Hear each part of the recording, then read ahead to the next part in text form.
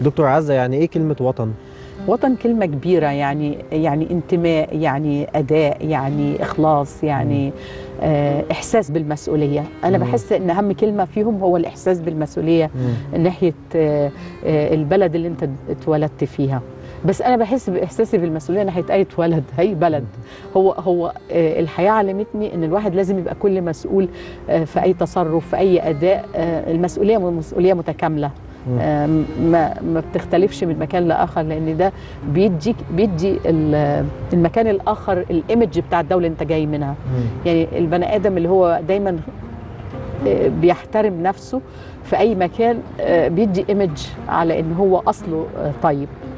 بس آه، يعني ب simp ب simple definition ال simplicity وال آه، والانتماء بي بي بيقوي ال- الإنسان. دكتور عزة إيه اللي أنت بتشوفيه هنا نفسك تشوفيه في مصر؟ أنا بشوف حاجات كتيرة في مصر إيجابية. آه، لأن أنا بتعامل مع كل المستويات. وحتى يعني أغلب المستويات في مصر بحسها إنها ناس كويسة قوي. فلكن ناقصنا حاجات كتيرة إن إحنا نحافظ على مصر أكتر. نحافظ عليها في الشارع في الكرسي اللي في الشارع في التليفون اللي في الشارع. آه، أحافظ بقوة. ده أنا اللي دافعة ثمنه الملكية الخاصة الإحساس بالاونر شيب دي مهمة جدا. آه، في مصر. لكن آه، مصر فيها إيجابيات كتيرة وبس عايزة يعني آه، نشاط أقوى و- وتركيز أكتر من المسؤولين وإن إحنا وبناء المؤسسات وفي حتة بقى بحبها قوي إن كان بيعملها أحد الوزراء بس دلوقتي مش مركزه على ال industrial zone المناطق الصناعية. دي مهمة جدا إن إحنا نركز عليها لأن دي مناطق للت- للتصدير بس, آه، رئيس الدولة عمل مجهود كبير إن هو يركز على المواني زي بورسعيد والإسماعيلية وطبعا السويس. فخلينا ننشط المواني الصناعية والتصدير يعني ده اقتصاد آه، مصر. فاقتصاد مصر كويس التعليم هيتحسن. آه، والتعليم دي برضو بحط عليها stress جامد. يا جماعة خفضوا المقررات.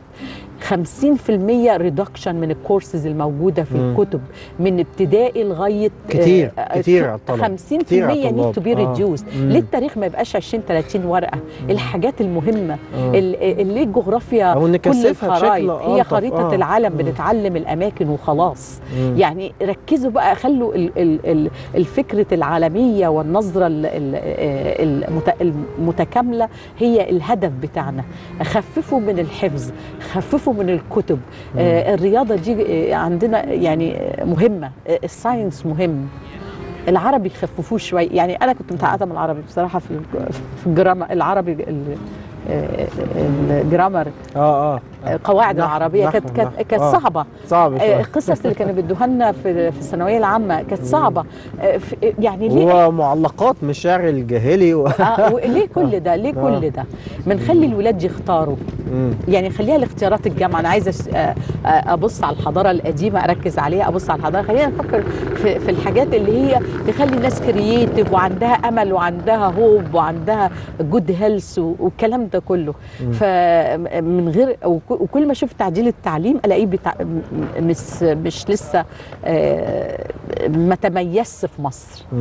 واخد بال حضرتك؟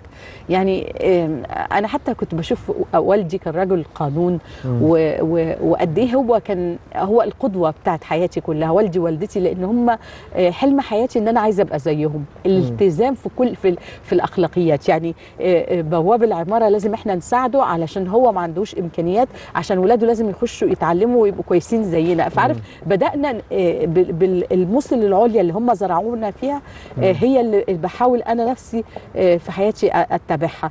نهتم بالناس اللي هي محتاجة لمساعدة قوي علشان إحنا نكبر قوي.